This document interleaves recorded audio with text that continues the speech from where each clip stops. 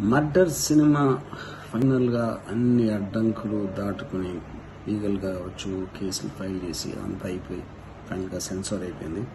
December twenty ఫోర్త్న release అవుతుంది.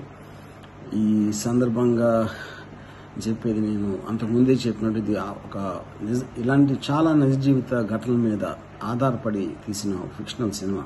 దీని press meet ఇరవై నాలుగు డిసెంబర్ రిలీజ్ కాబట్టి ఇరవై రెండో తారీఖున మిరియాల గూడలో పెడదామని నిర్ణయించుకున్నాం. మిరియాల గూడలోని ఎందుకు అంటే దానికి మాకున్న కారణాలు మాకున్నాయి. ఇప్పుడు చెప్పడానికి వీలు పడదు. కానీ మిర్యాలగూడలో ప్రెస్ మీట్ పెట్టడం అనేది చాలా కరెక్ట్ ఈ సినిమా కాంటెక్స్కి మా అందరికీ అనిపించి చేస్తున్నాం.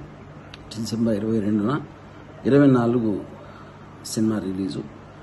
ఈ సినిమా చూసిన తర్వాత అసలు ఇలాంటి ఉద్వేగాలు కానీ ఇలాంటి అనుభవాలు చాలామందికి కొంతమంది మర్డర్ చేసి ఉండొచ్చు సూసైడ్ అయి ఉండొచ్చు లేకపోతే ఇంట్లోంచి పారిపోయి ఉండొచ్చు. కానీ పిల్లలకి తండ్రులకి జరిగే కంటిన్యూస్ యుద్ధం ఎవరి ఇష్టాలు వాళ్ళ ఇష్టాన్ని కాదంటం ఇలాంటి చాలామందికి ఎఫెక్ట్ అవుతుంది అనేది నా జెన్యున్ బిలీఫ్ ఇది.